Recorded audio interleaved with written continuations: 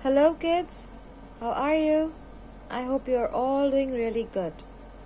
So, आज हम हमारे जोग्राफी का फिफ्थ चैप्टर पढ़ेंगे okay it's a very interesting and a very beautiful chapter जिसमें हमें पता चलेगा कि हमारे आसपास हम जहाँ रहते हैं हम कहाँ रहते हैं किस तरह रहते हैं और क्या क्या हमें चाहिए ये सब चीज़ें हमें इस चैप्टर से पता चलेंगी major domains of the earth हमारे अर्थ पे कौन सी मेजर चीज़ें हैं जिनसे ये हमारी अर्थ जो है वो बनती है okay so let's start the chapter As you have read in the first chapter, Earth is the only planet which has life.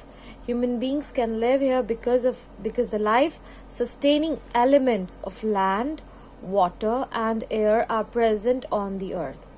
कहते हैं कि हमने जैसे फ़र्स्ट चैप्टर में पढ़ा था कि अर्थ इकलौता प्लानट है हमारे सोलर सिस्टम में, जहाँ लाइफ है, जहाँ ज़िंदगी है लाइफ इन द सेंस जहाँ लिविंग ऑर्गेनिजम्स रह सकते हैं। और हम लोग यहाँ क्यों रह सकते हैं? क्योंकि यहाँ पर ज़िंदा रहने के लिए जो चीज़ें चाहिए, वो सब है। वो क्या क्या है? लैंड ज़मीन वाटर पानी और एयर यानी कि हवा। The surface of the earth is a complex zone in which three main components of the environment meet, overlap and interact. अब जो अर्थ की सरफेस है मतलब अर्थ के ऊपर जो जगह है वहाँ पे एक कॉम्प्लेक्स जोन है। कॉम्प्लेक्स यानी कि वहाँ पे बहुत सारी चीज़ें आपस में मीट करती हैं मिलती हैं ओवरलैप एक दूसरे के ऊपर से रहती हैं इंटरैक्ट एक दूसरे के साथ में इंटरैक्ट करती हैं। ये चीज़ें हम आगे देखेंगे। अब कौन कौन सी मेजर पार्ट्स हैं हमारे अर्थ के जिसकी वजह से हम लोग जो लिविंग बींग्स है वो यहाँ पे रह सकते हैं? The solid portion of the earth on which we live is called the lithosphere अब ये स्फेयर होते हैं हिस्से ओके अब वो हिस्सा solid portion of the earth solid होता है मज़बूत। जो मज़बूत हिस्सा है हमारी अर्थ का, उसे हम जिसपे हम रहते हैं, उसे हम बोलते हैं lithosphere okay? The gaseous layers that surround the earth is the atmosphere. अब जो हवा का सारा जो एक तरह से एक जंजाल सा हमारी अर्थ के अराउंड है, उसे हम सारे को बोलते हैं एटमॉस्फेयर जहाँ पे हमें ऑक्सीजन नाइट्रोजन कार्बन डाइऑक्साइड और दूसरी अदर गैसेस आर फाउंड जो गैसेस का सारा है। Water covers a very big area of the Earth's surface and this area is called the hydrosphere. अब हमको पता है कि हमारी अर्थ पे 70 परसेंट जो है वो वाटर है वाटर बॉडीज है तो वो वाटर बॉडीज मिलकर बनाती हैं hydrosphere Hydrosphere comprises water in all its form that is ice, water and water vapors. Hydrosphere में सब आता है चाहे ग्लेशियर्स हैं, चाहे जितनी रिवर्स हैं ओशंस हैं वाटर वेपर्स हमारे एटमॉस्फेयर में, ये सारा किसमें मिलकर बनता है? हाइड्रोस्फेयर में। The biosphere is the narrow zone where we find land water and air together which contain all form of life अब बायोस्फेयर क्या है? बायोस्फेयर है जहाँ पे लैंड एयर वाटर ये सब मिलकर लाइफ को, यानी कि लिविंग बींग्स को सस्टेन करने के लिए जगह देते हैं, जहाँ पे लिविंग बींग्स रह सकते हैं। उस सारे स्फेयर को बोलते हैं बायोस्फेयर आई होप आपको समझ आ गया होगा कि लिथोस्फेयर होता है solid portion of the earth यानी कि लैंड ओके?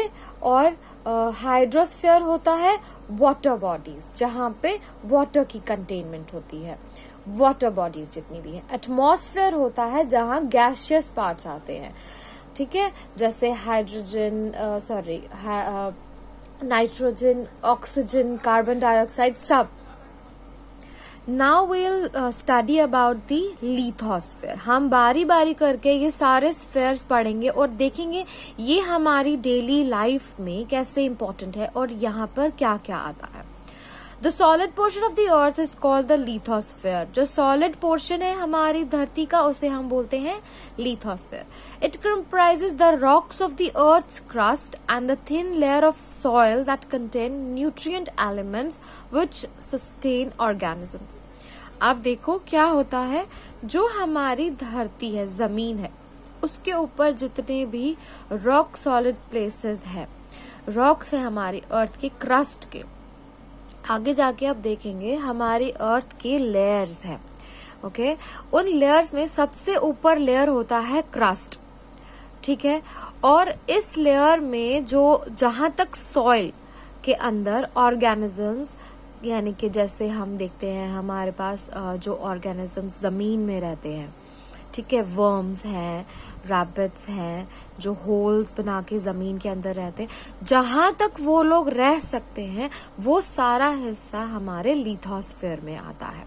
लिथोस्फेयर में क्या क्या आता है? जहाँ तक कि हमारे माउंटेन्स हैं, कितनी ऊपर तक हमारी ज़मीन है, और उससे लेके कितनी अंदर तक हमारे ऑर्गेनिजम्स रह सकते हैं, उस सारे एरिया को हम लिथोस्फेयर में कंटेन करते हैं।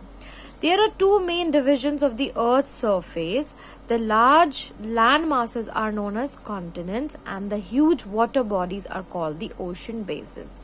अब हमारे जो अर्थ है हमारी जो अर्थ है इसकी जो सतह है सरफेस है इसको दो हिस्सों में बांटा गया है ठीक है जो कि लैंड मासेस हैं मतलब जितनी ज़मीन के टुकड़े बड़े बड़े जितने भी ज़मीन के टुकड़े हैं उन्हें हम कॉन्टिनेंट्स बोलते हैं और जो बड़ी बड़ी वाटर बॉडीज हैं।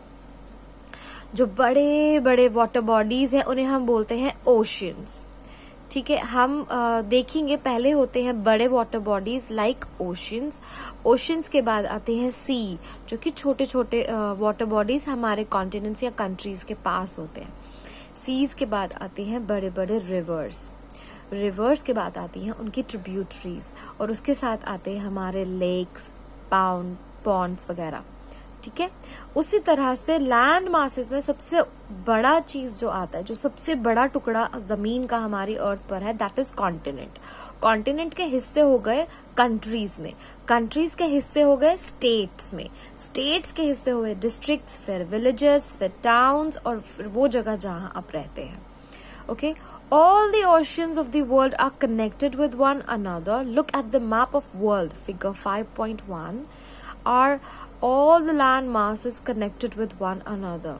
The level of seawater remains the same wherever. Elevation of land is measured from level of the sea which is taken as zero. अब क्या कहता है हमारी दुनिया में जितनी भी वाटर बॉडीज हैं वो आपस में कनेक्टेड है जैसे कि आपको पता ही होगा सी और ओशंस तो सारे इकट्ठे होते हैं। अब हम कैसे डिफाइन करते हैं कि वो सी है या ये ओशन पार्ट आ गया? क्योंकि ओशन में ज़्यादा गहराई होती है सीज में उतनी ज़्यादा गहराई नहीं होती है। सी जो होता है, हम कंट्री के आसपास का एरिया ले सकते हैं, कुछ किलोमीटर्स तक, लेकिन ओशंस बहुत ज़्यादा एरिया होता है। मैं अभी आपको दिखाऊँगी। अब सी वाटर से जो है सी वाटर जो होता है, वो हर जगह सेम होता है। उसकी लेवल एक जैसी होती है ओके और हम लैंड का एलिवेशन जो है सी लेवल से देखते हैं। मतलब जैसे मैं बताती हूँ, ये हमारा आ गया सी गहराई सी की। और यहाँ से ऊपर आ गया अगर लैंड तो हम इस पॉइंट को ज़ीरो लेंगे। ये सी का सरफेस है, इसे हम ज़ीरो लेंगे और इसके ऊपर से फिर हम देखेंगे कि कितनी ऊंचाई तक ज़मीन है या माउंटेन आ रहा ओके सो मोस्ट इम्पॉर्टेंटली आपको इस चैप्टर में ये जो डायग्राम दी गई है you have to see this map very very carefully because पूरे चैप्टर में आपको इसका रेफरेंस मिलेगा। ओके सो सबसे पहले चीज़ जो हमें दिखाए, देखनी है, जो हमने अभी अभी इस चैप्टर में पढ़ा कि कहता है, देखिए वाटर बॉडी सब जगह आपस में कनेक्टेड है। कहीं पे हम कोई बॉर्डर्स नहीं देख सकते। बट जो हमारे लैंड मासेस हैं, ये हमारे लैंड मासेस हैं। ज़मीन के बड़े बड़े टुकड़े हैं। ये आपस में काफ़ी दूर हैं, लेकिन ये कहीं ना कहीं एक दूसरे से जुड़े हुए हैं। जैसे ये यहाँ पे जुड़ा है। ये देखो। ये यहाँ पे जुड़ा है, ये यहाँ पे जुड़ा हुआ है। अगर आप देखेंगे, ये काफ़ी हद तक इस तरह से इधर से जुड़ा हुआ है, ठीक है? सो हमारे लिथोस्फेयर में हमारे पास आते हैं seven continents seven continents okay सबसे बड़ा आता है एशिया फिर आता है Europe Africa South America North America Australia and Antarctica Antarctica पे रहना बहुत ज़्यादा मुश्किल है, क्योंकि हमने जैसे पिछले चैप्टर्स में पढ़ा था, वहाँ सिर्फ़ बर्फ़ है। सिर्फ़ बर्फ़ है, कोई ग्रीनरी नहीं है, क्योंकि वो टोटली साउथ पोल पर आता है। और हमने देखा था साउथ पोल पे कितनी कम जो है रेडिएशंस आती हैं सन की। बहुत कम आती हैं, इसीलिए वहाँ पे सिर्फ़ बर्फ़ ही बर्फ़ है। ओके लेट्स सी कि आगे हमें चैप्टर में क्या पढ़ना है। ओके okay, यहाँ पे कुछ इंपॉर्टेंट फैक्ट्स हैं जो आपको पढ़ने चाहिए याद रखने चाहिए। The highest mountain peak mount Everest is eight thousand eight hundred forty eight metres above the sea level the greatest depth of eleven thousand twenty two metres is recorded at Mariana trench in the Pacific Ocean अब क्या कहता है हमारी धरती पर जो हमारे land masses हैं उस पर सबसे बड़ा माउंटेन जो सबसे ऊँचा माउंटेन पीक है वो है हमारा माउंट एवरेस्ट ठीक है? जिसकी ऊंचाई है 8,848 metres above the sea level जैसे हमने देखा था। सी के जो सतह होती है उससे ऊपर वो इतना ऊँचा है। The greatest depth of 11,022 metres is recorded at Mariana trench in the Pacific ocean could you imagine that depth of sea is much more than the highest point अब सोचने वाली क्या बात है कि पैसिफिक ओशन में एक uh, जगह है जिसकी जो गहराई है वो 11,022 मीटर्स है। यानी कि पैसिफिक ओशन के अंदर एक ऐसी जगह है जो माउंट एवरेस्ट से भी ज़्यादा गहरी है। मतलब जितनी माउंट एवरेस्ट की ऊंचाई है, उससे ज़्यादा उसकी गहराई है और उस जगह को बोलते हैं मारियाना ट्रेंच। ये हमारी धरती पे सबसे गहरा जो है हिस्सा है, जहाँ पे रिसर्च करने के लिए बहुत सारे लोग जाते हैं, बट हम लोग डरते हैं कि उसके अंदर क्या होगा। लेकिन साइंटिस्ट अपनी पूरी कोशिश कर रहे हैं विद मच मोर टेक्नोलॉजी कि वो देखें उसके अंदर क्या है, क्या नहीं है। ठीक है? ताकि हमें हमारी अर्थ के और भी ज़्यादा जो है चीज़ों के बारे में पता चले। ये जो है ये बॉक्स आपके लिए बहुत इंपॉर्टेंट है, पढ़ने के लिए भी और याद रखने के लिए भी। So Edmund Hillary from New Zealand Edmund Hillary जो थे, वो न्यूजीलैंड के थे। एंड टेंजिंग नॉर्गे शेरपा इंडिया के टेंजिंग नॉर्गे शेरपा जो थे, वो इंडिया के थे were the first men to climb the highest mountain peak Mount Everest on the planet earth on twenty ninth May nineteen 1953 में 29 मई को इन दोनों मेन ने पहली बार जो कोई जो माउंट एवरेस्ट पे चढ़े थे, वो थे एडमंड हिलरी और थे तेंजिंग नॉर्गे शेरपा उसके बाद जानको तबाई जानको तबाई फ्रॉम जापान जानको तबाई जो थी वो जापान की लेडी थी और वो फ़र्स्ट लेडी वुमन थी जिन्होंने माउंट एवरेस्ट की चो, जो चोटी थी वहाँ पे पहुँची थी। वो कब पहुँची थी? सिक्सटीन में 1975 में। 1953 में पहली बार जब कोई माउंट एवरेस्ट की चोटी पर पहुँचा था वो थे एडमंड हिलरी और थे टेंजिंग नॉर्गे शेरपा और जनको जन को तबाई जो जापान की लेडी थी, वो पहली लेडी थी दुनिया की जो माउंट एवरेस्ट पे चढ़ी थी और जो पहली इंडियन लेडी थी जो हाँ माउंट एवरेस्ट की चोटी पे पहुँची थी, वो थी बचंद्री पाल, जो ट्वेंटी थर्ड मई 1984 को वहाँ पे गई थी। अगर आपको डेट्स याद नहीं भी रहती हैं मेक श्योर sure कि आपको ये नाम याद रहे। ठीक है, एडमंड हिलरी न्यूजीलैंड के थे तेंजिंग नॉर्गे शेरपा इंडिया के थे, जनको तबाई जापान की थी और बचंद्री पाल इंडिया की थी। ओके सो लेट्स रीड हमारे कॉन्टिनेंट्स के बारे में। कॉन्टिनेंट्स हमारे को पता है, हमारे पास सेवन कॉन्टिनेंट्स हैं और उनके बारे में हम पढ़ेंगे डिटेल में। There are seven major continents these are separated by large water bodies हमारे पास सेवन कॉन्टिनेंट्स हैं और इनको आपस में किसने अलग किया है? वाटर बॉडीज ने, पानी में These continents are Asia, Europe, Africa, North America, South America, Australia and Antarctica. हमारे जो सेवन कॉन्टिनेंट्स हैं उनके नाम हमें दिए गए हैं Asia Europe Africa North America South America Australia and Antarctica Look at the map of the world figure 5.1 and notice that the greater part of the land masses lies in the northern hemisphere okay ये हम देखेंगे कि हमारी अर्थ का ज़्यादा हिस्सा जो है, धरती का ज़्यादा हिस्सा जो है लैंड मासेस जो ज़मीन का ज़्यादा हिस्सा है, वो हमारे नॉर्दर्न हेमिस्फेयर में आता है Asia is the largest continent. It covers about one third of the total land area of the earth. अब क्या है एशिया जो है, वो हमारे कॉन्टिनेंट्स में सबसे बड़ा कॉन्टिनेंट है और ऐसा माना जाता है कि अगर हमारे लैंड मासेस के तीन हिस्से किए जाए तो एक हिस्सा तो सिर्फ़ एशिया ही ले जाएगा।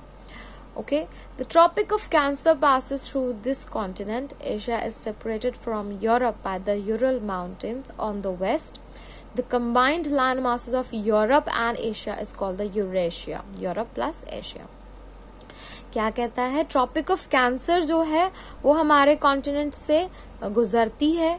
एशिया जो है, वो यूरोप कॉन्टिनेंट से यूरल माउंटेन्स की वजह से अलग है। मतलब एशिया और यूरोप को कैसे हम सेपरेट करते हैं, उसके बीच में आते हैं यूरल माउंटेन्स ठीक है?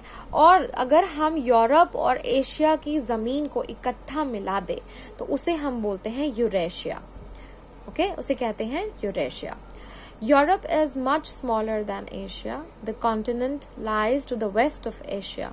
The Arctic Circle passes through it. It is bound by water bodies and on three sides. Look at the map of the world and locate it. Okay okay? क्या कहता है यूरोप जो है वो Asia से काफ़ी छोटा है उसके वेस्ट में आता है आर्कटिक सर्कल जो है वो यूरोप से पास होता है और इसके तीन तरफ़ जो है वाटर बॉडीज हैं। ये सब देखने के लिए हमें देखना पड़ेगा मैप जो कि हमें दिया गया था फिगर फाइव पॉइंट वन पे।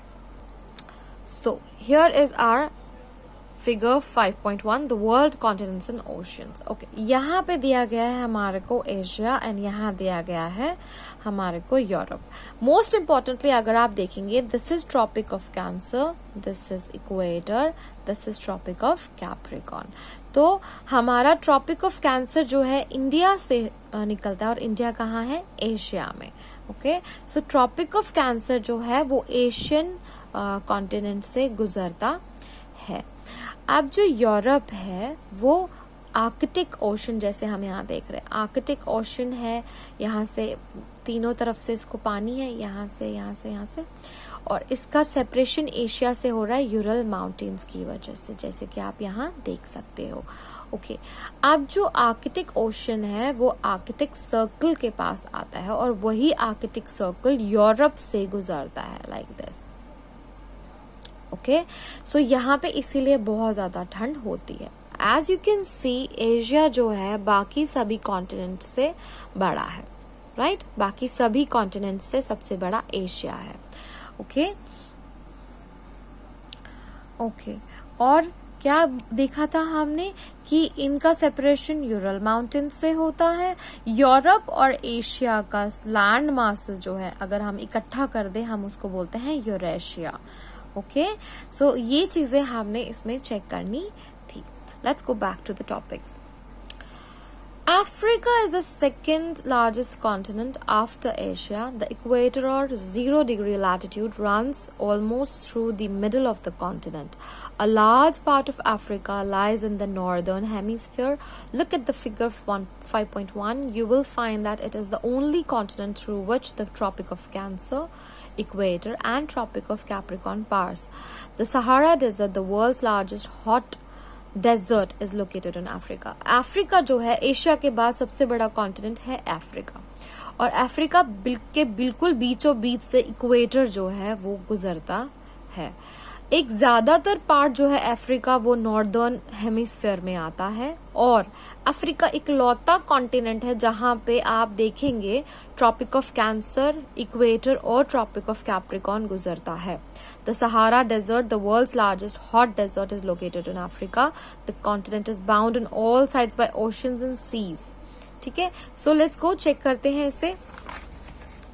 ओके okay, हियर अगर हम देखेंगे तो यस yes, हमने देखा था, इक्वेटर के ऊपर होता है नॉर्दर्न हेमिस्फेयर, इक्वेटर के नीचे होता है साउदर्न हेमिस्फेयर। तो यस इक्वेटर के ऊपर ज़्यादातर लैंड मासेस है, इक्वेटर के नीचे कम लैंड मासेस है। और देखेंगे तो सहारा डेजर्ट जो सबसे बड़ा हॉटेस्ट डेजर्ट है, वो इधर ही आता है, अफ्रीका में आता है। And yes Tropic of Cancer equator Tropic of Capricorn तीनों जो है वो अफ्रीका के कॉन्टिनेंट से गुजरते हैं। और कोई भी नहीं है। ऑस्ट्रेलिया से ट्रॉपिक ऑफ़ कैप्रिकॉन गुजरता है इक्वेटर नहीं।